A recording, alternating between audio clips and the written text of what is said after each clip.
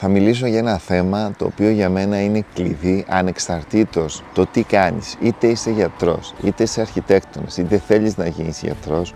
Και αυτό το πράγμα πρέπει να το περάσουμε και στα παιδιά μας. Πρέπει να μάθουμε να πουλάμε. Και το πιο σημαντικό που έχουμε να πουλήσουμε είναι τον εαυτό μας. Είναι μια ολόκληρη τέχνη, είναι μια επιστήμη η οποία το σημαντικότερο είναι ότι μαθαίνεται, βελτιώνεται, δεν έχει να κάνει απόλυτα με την προσωπικότητα και το χαρακτήρα μας. Όλοι μπορούμε να μπούμε σε αυτή τη διαδικασία. Ξέρετε, βλέπω πολλούς και λέει «Α, από το παιδί μου θα γίνει επιστήμονας, δεν το έχω με την πώληση».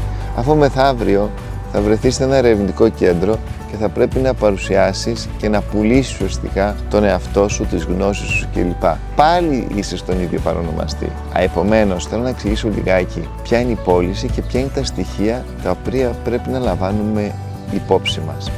Θα ξεκινήσουμε το πρώτο, το σημαντικότερο είναι να καταλάβουμε τις ανάγκες τους άλλους και τα προβλήματά τους. Δεν σημαίνει ότι πρόβλημα είναι να έχει να φάει. Πρόβλημα για κάποιον είναι το οποίο ας πούμε το αυτοκίνητό του δεν πηγαίνει σε 3 δευτερόλεπτα κατά χιλιόμετρο, αλλά πάει σε 3,3. Είναι πρόβλημα γι' αυτό. Και θέλει να αλλάξει το αυτοκίνητό του για αυτό το λόγο. Δεν το κρίνουμε εμείς γιατί παίρνει αυτές τις αποφάσεις. Πρέπει εμείς να καταλάβουμε ότι έχει μια ανάγκη και εμείς πρέπει να την λύσουμε. Έτσι, αλλιώς, αν θέλουμε να κάνουμε λεφτά και είμαστε δικηγόροι, θα ασχοληθούμε με αυτούς οι οποίοι έχουν λεφτά. Οι οποίοι αυτοί είναι και αρκετά παράξενοι. Το οποίο πρέπει να μπορούμε να τους αντιλαμβανόμαστε, να τους κατανοούμε και να μπούμε σε ένα βάθος λίγο βαθύτερο, να ψάξουμε να βρούμε όχι μόνο την ανάγκη του, αλλά το κίνητρο, το ψυχολογικό υπόβαθρο γιατί θέλει να κάνει αυτό το πράγμα, γιατί έχει αυτή την ανάγκη.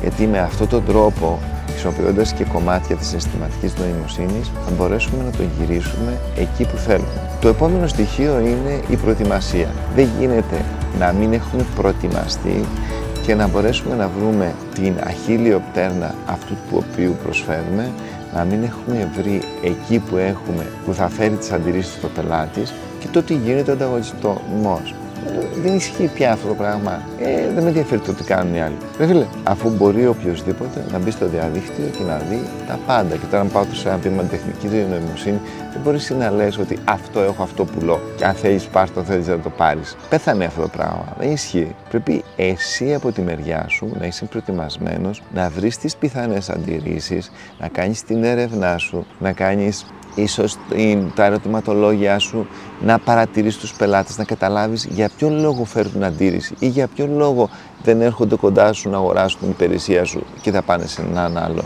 Είναι η τιμή σου και γιατί καταφέρνει ο άλλος και πουλάει φτηνότερα. Είναι ότι η συμπεριφορά η δική μου, τι φταίει τελικά και δεν κάνω τον άλλο να, να έρθει κοντά μου. Επομένως όταν καταλάβω και τις αντιρρήσεις μετά πάω πάνω στο επόμενο στάδιο που προσπαθώ να του δώσω τη βοήθεια να πάρει την απόφαση πιο εύκολα. Τι σημαίνει αυτό, τον γλυκένω, δηλαδή να ζήσει την εμπειρία. Δεν είναι τυχαίο που παλιά τα είχαν κλειμένα τα τηλέφωνα στα ράφια όταν πήγαινε στην Epic να αγοράσεις στο Public ή στο Στεφανί και τώρα στα έχουν εκεί αραδιασμένα και σου λένε παίξε μαζί τους. Γιατί, για να σε γλυκάνουν, να δεις, να βγάλεις τον εαυτό σου μια selfie για να πεις Wow, εδώ είμαι πιο όμορφος, θα πάρω καινούργιο κινητό. Είδατε, δηλαδή πρέπει να δώσουμε την εμπειρία, να του δώσουμε να καταλάβει του άλλου.